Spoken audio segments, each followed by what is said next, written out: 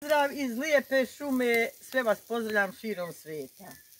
Drugarice bile tri i jarani mi, sad padaju hladne kiše, drugari se oženiše, svako svoje zlato ima ja na stolu, čašu vina. He, jarani zora sviće, nikog nema pored mene, dođite na jedno piće i momačke uspomene.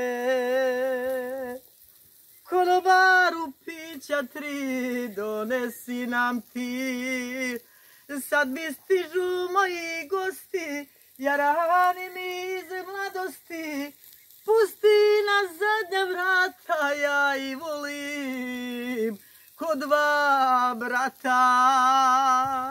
Sad ću vam pokazati di su me doveli. Evo vidite ovdje kako je lijepo, pišite jel se pjesma sviđa.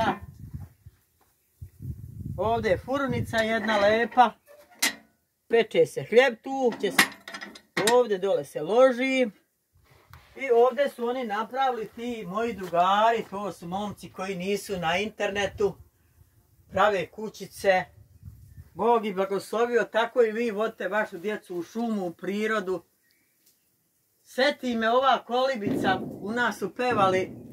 Još postoji ona koliba od pruća, što smo je nazvali da je naša kuća. Čobanice, ljepotice, ajmo u planinu, da čuvamo stado kao Ljubičice moja čobanice,